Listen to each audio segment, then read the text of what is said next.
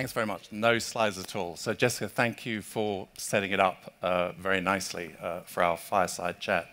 And I really want to kind of build on some of the comments you've made. So I think the message from Jessica is we're not trying to invest in nature, we're trying to invest for nature. Yeah, we have a $100 trillion economy per year that is addicted not only to the use of nature, that's a truism, um, but is addicted to the overuse of nature, the extractive processes of nature. And, and so we're staggered by the fact that we have to swing not just one part of the global economy, but every part. So let me try and unpack that just a little bit and then place finance into the conversation. So finance, of course, is the lifeblood of our global economy. Yeah, $300 trillion worth of financial assets across global financial and capital markets, of which tiny numbers, exactly as you were describing, Jessica, kind of flow into nature. You know, a few hundred billion dollars. Seems like a lot of money, but just think the global food system is an $8 trillion a year food system, with the World Bank estimating negative externalities, so nature, climate, and poor health outcomes of $12 trillion a year.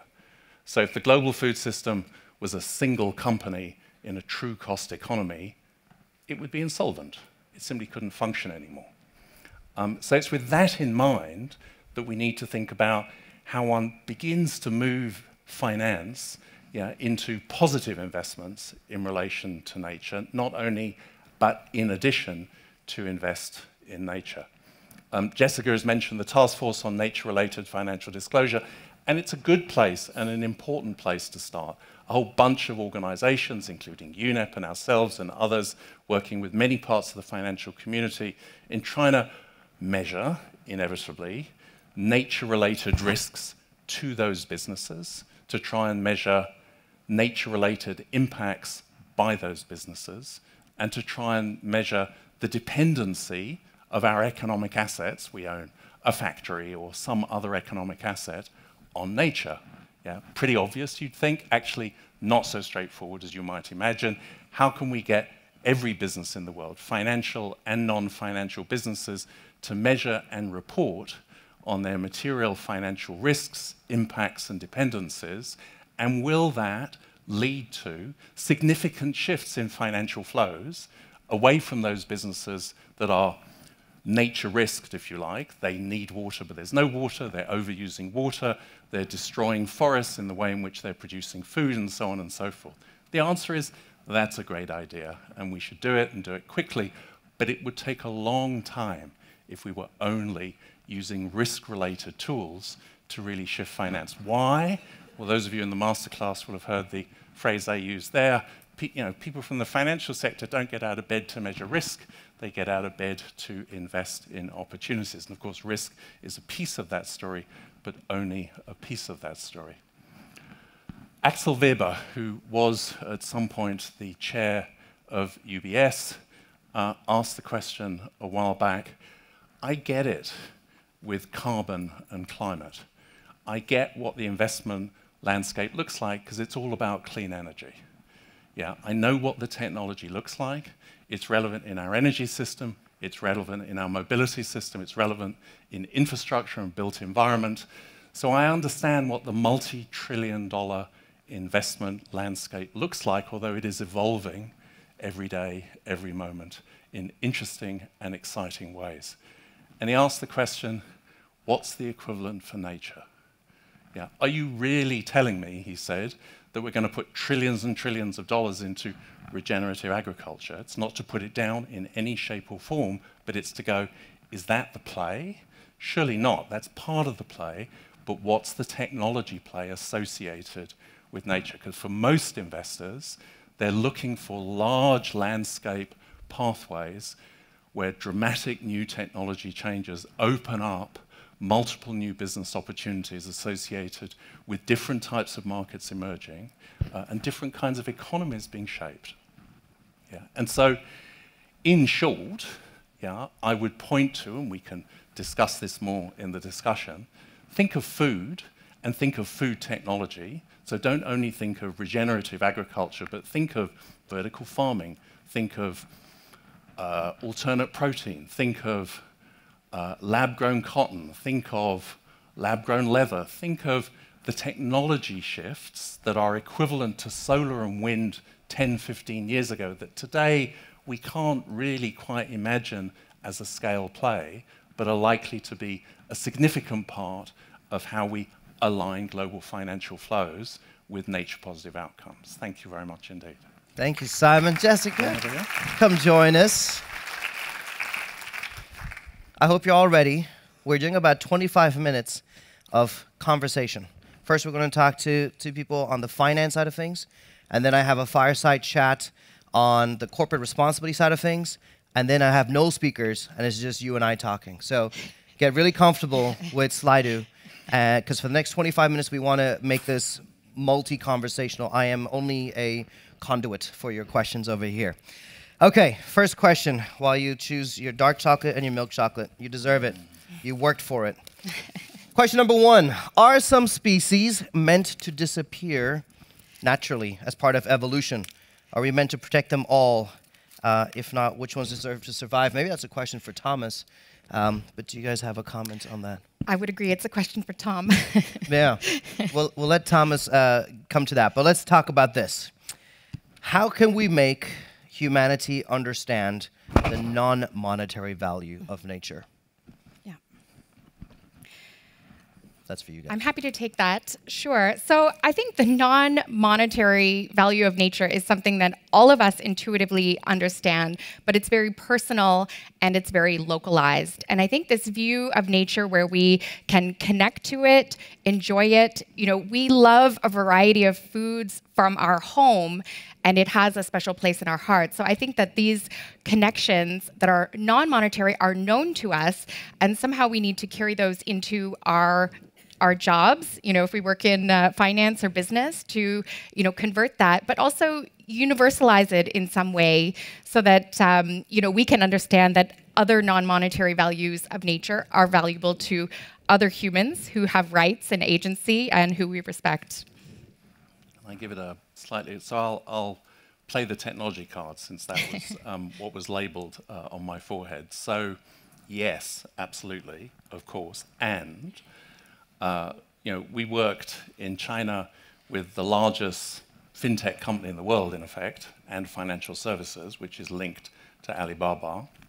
We designed an app, uh, in fact, while I was still at UNEP, uh, and then uh, elsewhere after that, which sat on their Alipay, you know, so equivalent to PayPal or other ways in which you make payments.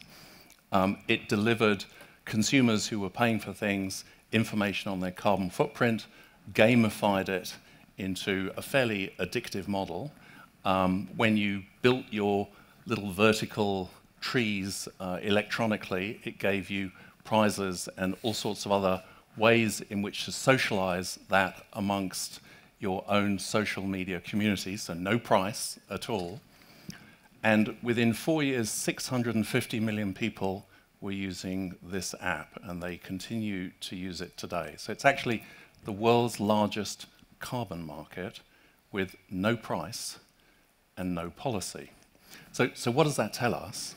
It tells us, yes, you're absolutely right, Jessica. It tells us that it has to be part of one's social identity, that social identity is a collective, socialized process, uh, and that we have to understand how that is being recreated within digital worlds in multiple different forms. We can't ask six billion people who are urbanized to figure it out with indigenous peoples, I just think that's an unlikely play in reality. That we have to figure where nature fits into a reconstituted understanding of identity within the kind of channels, including digital channels, that are becoming dominant today. Yeah, thank you for that. Jessica, I think this is a question for you. Um, so, investors have to make decisions where they put money, uh, and there are certain KPIs, certain metrics that they measure. So the question is, how do you measure the value of nature-based opportunities to pick one over the other, just like financial experts do every day with startups or investment opportunities? So how, how do you decide where to put the money and where not to. Absolutely. Well, actually, this has been the metrics and KPIs for nature has been one of the major tasks of the Task Force on Nature related financial disclosures, which we've mentioned a few times. And instead of having a single metric like greenhouse gas emissions, there is a periodic table which has the various realms like freshwater and terrestrial areas. And it also has ecosystem services, so the benefits that people get from nature. So, because nature is so diverse, we will have different metrics for different situations. But that's not to say that they cannot be comparable and they cannot be used for finance because in fact we are seeing a huge growth in sustainability linked loans sustainability linked bonds sovereign debt conversions and other products which are you know adding up although still small uh, which are now you know increasingly seeing some harmonization in the nature related metrics and the tnfd as a market driven task force in communication with standard setters and in communication with regulators is helping that harmonization so that we can scale the market. Thank you for that. That question came from Ashima. Uh, here's the next one. The solutions and ideas that both of you presented, are these aligned with the planet at 10 billion humans? Or does the equation change as we keep growing? So let's make it tougher. That seems too easy you know, are they aligned with 10 billion people at two degrees plus? Yeah, because that makes it an awful lot more complicated, but probably an awful lot more realistic. Mm-hmm. Yeah, so uh, when I was at Davos in January, there was one of these wonderful dinner conversations that I was part of, um, where a group of uh, companies were talking about how they were doing inset investing in the regeneration of soil in Ghana for cocoa producers. Yeah, and that that would lead to improved livelihood, improved quality of cocoa. Yeah, then Nestle or others could buy the stuff, make chocolate. Oops, here it is. Uh, away we go. Right. And I asked the question, what does that look like at two degrees plus? Yeah, is any of that soil really left, or are we talking now dust? Yeah, and if it's true for Ghana, then it's true for four and a half billion people yeah, who live around the tropics. Yeah, and the answer, of course, in the room was, oh my God, you're being very pessimistic. I'm sure we can keep it under one and a half degrees. I won't do a little poll test as to how people view that right now, but let's take it as a piece of optimism on their part. Yeah, and then the second part of the answer was, well, we're helping them because today we can help them, even if in 20 years' time cocoa production in Ghana is not possible. To which I went, well, that may be true, but the other view is that you're locking them into a livelihood model rather than helping them transition into something else. What happens when we're 15 years down the road, the soil is degraded beyond repair. Uh, does Nestle and others still hang around, or do they head off at that point and not really help with the transition? To which the next part of the answer was, well, maybe it's not really our problem, it's somebody else's problem. So I don't think you should think about that through the lens of Davos. I think you should think about it through the lens of us all kind of which piece of this problem are we willing to pick up? and as things begin to get worse, yeah, um, not worse because there are more people, but worse because of climate change, yeah, our relationship with nature, our investment in nature, the productive nature of nature for us, you know, will be increasingly under threat, and those livelihood models that are dependent on nature will need to transition into other livelihood and indeed survival opportunities. And the question is, what role do we, the global elite, play in that process? Do we draw up the drawbridges um, because there are 150 million people trying to get out of North Africa into Europe? Yeah, or do we play some other role? So, so I think the question is absolutely correct. I think nature is a piece of the story. I think population growth actually isn't the core of the story. Okay. I think that's a distract yeah, given what the actual landscapes are where we need to make some decisions going forward. Super. And a final word from both of you, because our time is running out fast. Given the scale of required transformation, of long term impact that's expected, how do we reconcile the level of capital required to the long term benefits? I hate to give a time limit on it, but if you've got 30 or 40 second responses to a very important question, right. that'd be great. Well, I would say the level of capital and the urgency of getting that capital into the right places. And right now, we are talking about market based models, but there is still a very important role for public finance, so basic conservation payments to those who are stewarding nature successfully and holding on to the assets that we need, that we don't need in 30 years from now in a restored situation, we need them now. Uh, so public finance is absolutely still extremely important. Simon? There's no shortage of money whatsoever. Uh, I think, again, that's the wrong lens. There's huge amounts of capital available for allocation, but at the moment it's flowing largely into destructive enterprises, or indeed not even enterprises, but financial instruments uh, that derive excessive profit. Um, our challenge is to redirect those funds, not to generate more. I think that's a misunderstanding about what is available to us. And the good news is that financial and capital markets were invented by us, and so we have every opportunity to change them. Thank you. Excellent. Let's give it up for Simon and Jessica. Thank you so Thank much. You.